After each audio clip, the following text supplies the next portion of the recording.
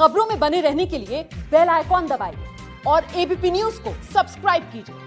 पश्चिमी उत्तर प्रदेश के प्रभारी और मध्य प्रदेश के गुना से उम्मीदवार बनाए गए कांग्रेस के बड़े नेता ज्योतिरादित्य सिंधिया प्रचार में लगे हुए हैं। ज्योतिरादित्य सिंधिया को हेलीकॉप्टर से ज़्यादा से ज़्यादा प्रचार कर पश्चिमी यूपी में पार्टी का प्रदर्शन सुधारना चाहते हैं। ज्योतिरादित्य सिंधिया से बात की हमारे सहयोगी आदेश रावल ने। सिंधिया जी आप लोगों ने कहा कि बहत्तर हज़ार रुपये आप गरीब लोगों को देंगे। लेकिन इसमें अभी तक ये साफ़ नहीं हो पाया कि ये पैसा आएगा कहाँ से।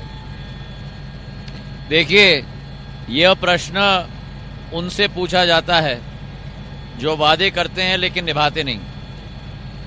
हमारे 10 साल के कार्यकाल में हमने ऐसे महत्वाकांक्षी योजनाओं को लागू किया है, जिनकी कल्पना भी उसके पूर्व सरकार ने नहीं की थी।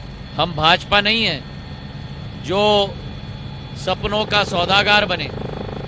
कांग्रेस पार्टी सपनों का निर्माण करता है। राहुल जी दो जगह चुनाव लड़ रहे हैं। आपको ऐसा क्या लगता है सर उनको वायनाड जाने की ज़रूरत क्यों पड़ी? क्योंकि आपके विरोधी आपके ऊपर की सोच स्पष्ट है कि जो एक दरार मोदी जी ने उत्तर भारत और दक्षिण भारत के बीच में पैदा किया है उस राष्ट्र एकता के संदेश के साथ प्रमाण के साथ राहुल जी दोनों उत्तर और दक्षिण भारत को जोड़ने का उन्होंने कदम उठाया है। लेकिन आपके विरोधी कहते हैं कि राहुल जी थोड़ा घबरा गए थे अमेठी से। किस बात से? तो दोनों जगह लड़ रहे हैं क्या? वो पहले नेता है जो दोनों की जगह लड़ रहे हैं? क्या मोदी जी गुजरात से भाग गए थे? जब उत्तर प्रदेश आए थे? सिंधिया जी एक बड़ा सवाल ये है कि बनारस से कौन लड़ेगा? क्या ये पार्टी निर्णय लेगी। क्या आपके और प्रियंका जी के बीच में कोई चर्चा इस बात को लेके हुई है कि वो लड़ सकती हैं?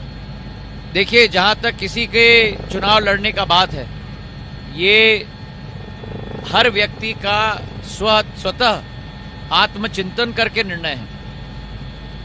और मैं मानता हूँ कि यह निर्णय व्यक्ति विशेष पर ही हमको छोड़ना चाहिए। क्या इस बात को लेकर कोई चर्चा अभी तक हो पाई है सिंधिया जी की?